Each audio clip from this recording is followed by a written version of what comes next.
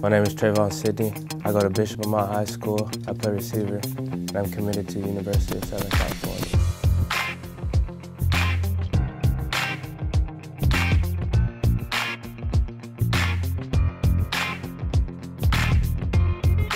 I chose USC because just it felt at home. It's uh, I'm from uh, LA, Pasadena, um, so it's just in my backyard, and every time I went there, it just felt well.